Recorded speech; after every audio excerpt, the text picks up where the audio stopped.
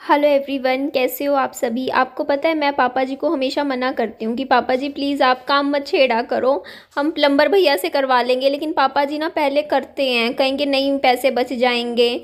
और हमेशा, और उसके बाद पता है क्या होता है? वो काम ढंग से नहीं होता, क्योंकि देखो जिसका काम उसी को साजे, है ना? जो प्लम्बर भैया को आता है काम, वो पापा जी को थोड़ी आता है। पापा जी क्या करते हैं? यूट्यूब पर वीडियोज़ देखते रहते हैं।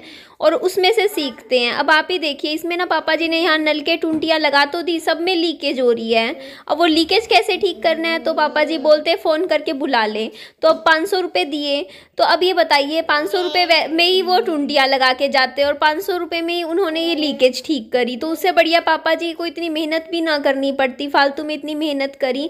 और ये देखिए, आज मम्मी कह रहे थे कि उनके कुछ स्पेशल गेस्ट आएँगे घर पर। कोई हो, मुझे नहीं पता, मैं नहीं जानती तो मम्मी सफ़ाई कर रहे थे घर के बाहर ये कूड़ा वगैरह पता नहीं कैसे आया।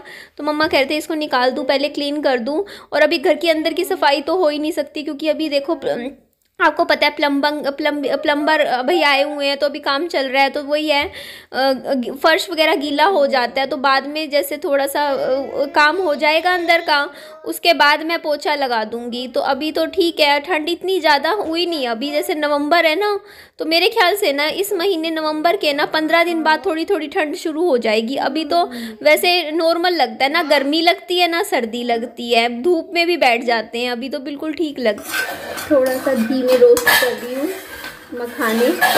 और इसमें मैं डालूँगी ये वाला मसाला। ये पापा जी ने खुद से बनाया हुआ है। मम्मा खा लो। मम्मा। खाएगा बाबू? आ जाओ हमारी लस्सी भी आ गई। मैं तो बड़ा गिलास पीऊँगी।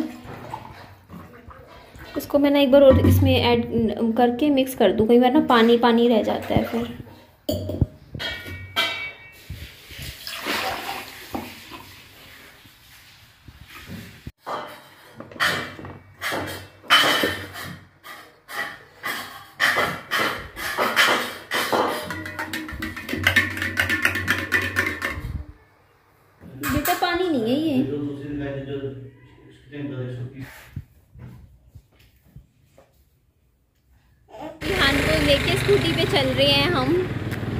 इस घर में तो सामने ताला लगा दिया। चाबी मेरे हाथ में है। सामने वाले घर में और लगा देते हैं। मम्मी भी क्योंकि घर पे है नहीं। आप यहाँ पर ये बिल्कुल मत सोचिएगा कि स्कूटी पापा जी बहुत ही मतलब ओवर लिमिट में चला रहे हैं। एक्चुअली मैंने ना थोड़ी सी स्पीड बढ़ा दी थी यहाँ पर। तो अभी हम यहाँ से निकलेंगे। एक्चुअली क्या है ना कि मैं चाहती थी विहान को जूस पिलाना। और होता क्या है कि जूस जब तक पापा जी लेकर आते हैं ना टाइम लग जाता है और फिर वो कड़वा सा हो जाता है और कई बार शेक होता है जैसे मैं आपको बताऊँ जैसे पपीता शेक होता है वो ना अगर उसी टाइम पी लो तो पी लो लेकिन बाद में जैसे पपीता और दूध का कॉम्बिनेशन कुछ ऐसा होता है कि वो बहुत कड़वा हो जाता है। इसीलिए और ये जो है ज़्यादा दूर भी नहीं था। भैया क्या क्या है सब्ज़ी में? आलू बड़ी है। आलू बड़ी। और आलू गोभी है। आलू पकौड़ा है। क्या ले पापा जी? कड़ी? दो ढाई दो ढाई हाँ ओए गरम होगी छू रहा है। एक तो कड़ी कड़ी कर देना। दो डाइट मतलब पापा जी दो प्लेट? हाँ। तो ठीक है हम देखते हैं। तो यहाँ पे देखिए गर्म गर्म यहाँ पे कड़ी है और ये दाल है। अच्छा भैया पैक कर देना खानी खानी नहीं है यहाँ। तो यहाँ देखिए यहाँ से पापा जी लेकर आते हैं। तो देखिए आटा लगा हुआ है और यहाँ पीछे बैठने का भी अरेंजमेंट है और हमारी इसके पीछे एक अच्छा खासा पार्क है यहाँ सामने। बढ़िया पार्क है। तो ये है आलू गोभी रसेदार। तो यहाँ से हमारा खाना आ जाता है डाइट आ जाती है घर पे। तो तीस वाला पपीता शेक बना दो छोटा। मौसमी का और बनाना। है? पाइन का ओके। तो पाइन का बना दो। ये जो पाइन का जूस हम बनवा रहे हैं ये एटी रुपीज़ का था। और जो वो वाला आता है ना मौसमी का, वो आई थिंक पचास रुपये का या साठ रुपये का ऐसे है, जैसे बड़ा गिलास लेना हो तो पचास का होता है। तो पपीता शेक मैं पीती हूँ ना कई बार, वो ना दो आते हैं उसमें पपीता शेक में, एक तो तीस रुपये का होता है और एक होता है पचास रुपये वाला। तो अगर मैं अकेली होती हूँ तो मैं कई बार तीस वाला बनवा लेती हूँ और विहान के साथ होती हूँ तो पचास वाला बनवा लेती हूँ। और यहाँ मुझे लगता है पापा जी ने ना आज बाल कटवाए हैं, कल कटवाए हैं, मेरे ख्याल से लंबे से हो रहे थे, अब बिल्कुल ही छोटे छोटे से लग रहे हैं। ये देखिए, ये है रुकजा विहान हमारा पाइनएप्पल मौसमी मिक्स जूस है। आजा बच्चे, आप भी पी लो। पापा जी, धुआँ चढ़ रहा। हूँ मेरे ऊपर तो गिराएगा ही गिराएगा, बाबू। P low P low. अच्छा रुक जा मैं दे दूँ ये इधर से लो। पीना है तो बताओ, वरना मैं पी लूँगी बात। पियोगे? खेलना नहीं है। एक्चुअली ना, भैया को जो मतलब जहाँ हम खाना पैक करवा रहे थे तो यहाँ पे भीड़ बहुत ज़्यादा थी, बहुत ज़्यादा। मतलब मैं देख रही थी मतलब पाँच छः लोग उठते खाने से फिर दो चार बंदे और आके बैठ जाते थे। तो यहाँ पे थोड़ा सा टाइम लगना था तो मैंने ना मतलब एक जगह बैठने की इच्छा नहीं हो रही थी, जूस बाकी बचा हुआ मैंने पी लिया था। और यहाँ पे देखिए मैं थोड़ा थोड़ा यहाँ पे वैसे ही टहलने लग रही हूँ घूम रही हूँ। एक साथ भैया पाँच छः रोटी बन जाती है।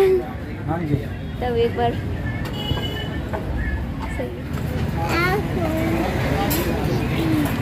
तो अब आप यहाँ पर देख लीजिए, आज मैं आई तो मैंने कैप्चर कर ही लिया। देखिए कितने साफ़ सुथरे ढंग से, सफ़ाई से, कितने अच्छे से खाना बनाया जाता है।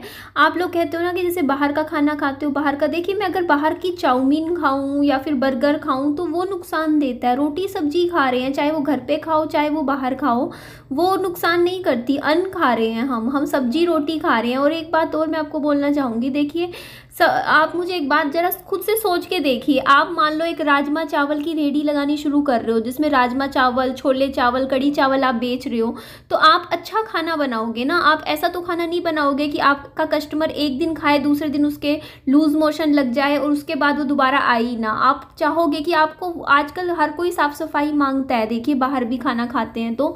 तो इसीलिए देखिए, पूरा साफ़ सफ़ाई से देखो कितनी शुद्धता से अच्छा बढ़िया खाना बनाया है, पैक किया जा रहा है। अभी देखिए, रोटियाँ तैयार हो गई थी और लस्सी भी दी थी साथ।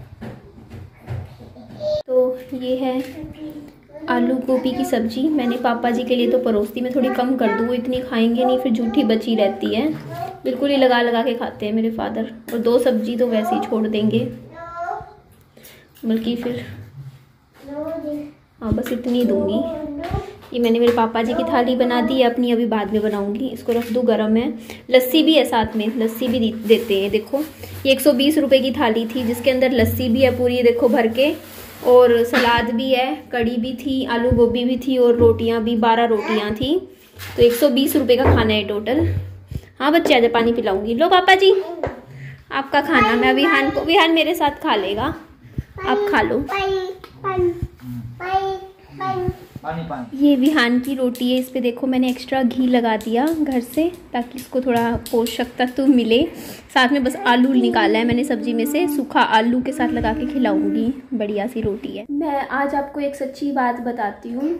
बहुत बहुत साल पुरानी बात है जब मेरी ना जैसे मेरी एजुकेशन कंप्लीट हुई थी और मैं करीबन चौबीस साल की थी, तेईस चौबीस साल की होंगी। तो ना हम रहते थे ना तो हमारे ना मतलब नज़दीक में पड़ोसी थे, ठीक है?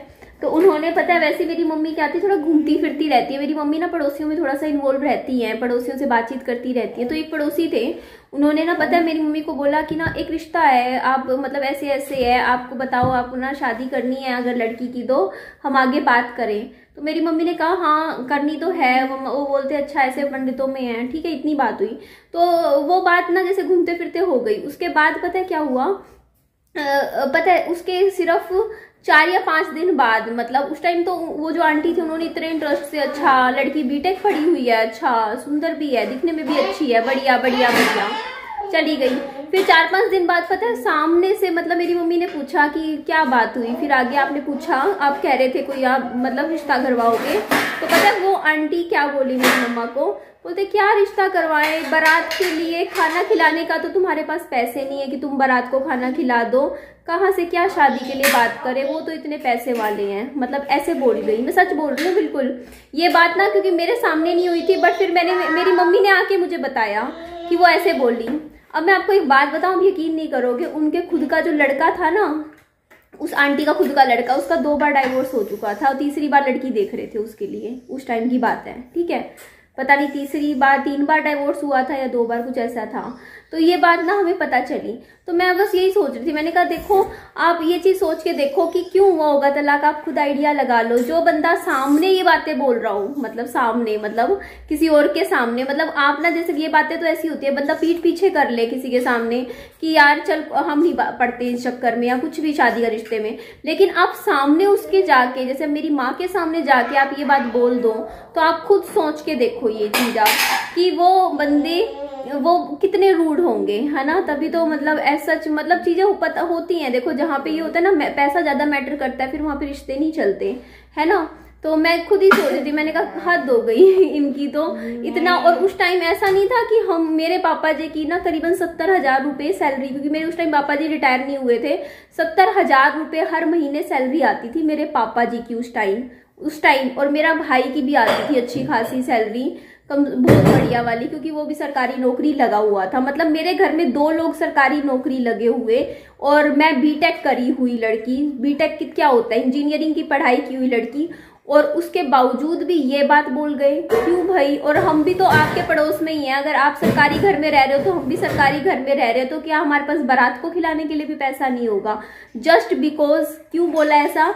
क्योंकि मेरे पापा जी का आपको पता है, थोड़ा सा सिंपल तरीके से रहते हैं, इतना वो नहीं है कि हाँ पहनावे ओढ़ने में। मेरी मम्मी भी, आप खुद देखते हो कितने सिंपल रहते हैं, कुछ भी सूट पहन लेंगे कंगी भी कई बार बालों में ऐसी मतलब थोड़ी सी रहते हैं मतलब थोड़ा ये नहीं है कि सोना भी पहनते हो, कोई जेवर पहनते हो, जेवर की कमी नहीं है, मम्मा के पास था, है, और मम्मा रख, लोकर में रखवा लेते हैं, लेकिन पहना कुछ नहीं कभी, है ना? कि बेटी को दे देंगे, उस टाइम रख रखा था और मेरे को अच्छे से अच्छा दिया भी मेरी मम्मा ने। लेकिन आप ये चीज़ सोच के देखो, लोग ना सिर्फ़ पहनावे से कोई अगर घर में अगर किसी के अच्छा फर्नीचर नहीं है या कोई वो फर्नीचर नहीं रख रहा तो सोचता है कि ये बिल्कुल ऐसे ही होंगे, इनके पास तो कुछ होगा ही नहीं, है ना?